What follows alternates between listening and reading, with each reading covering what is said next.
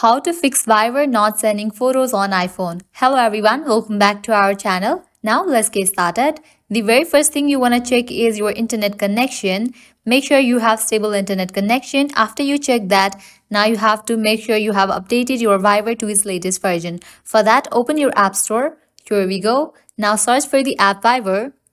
After app appears, you will see the option of open or update. If you see the option of update as mine, tap on that option and update your Viber to its latest version. Updating app to its latest version might fix the problem.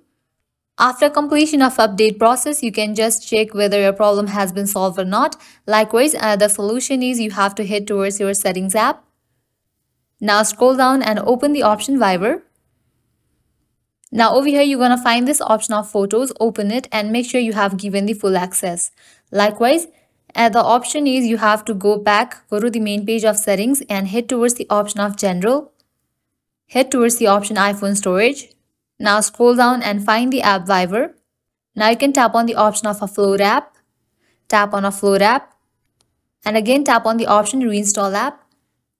This will remove all the cache from this app after you complete this process, you can just open your Viber and check whether you can send photo or not. If all of these solution doesn't work for you, you can give a fresh restart to your phone and with that your problem will be fixed. Applying all of these solutions, your problem is definitely gonna be fixed. So this is how you can fix Viber not sending photos on iPhone. At the end, if you guys find this video helpful, don't forget to like, share and subscribe. Thank you.